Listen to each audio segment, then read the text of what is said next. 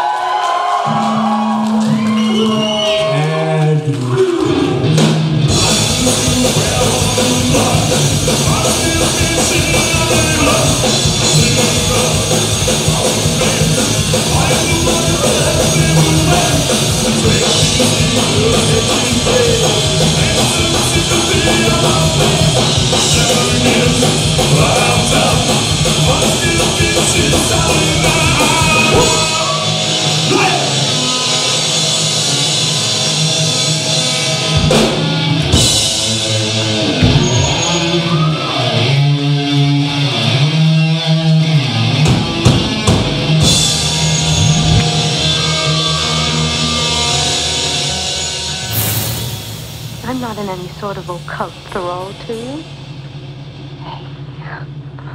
Can't you take a joke?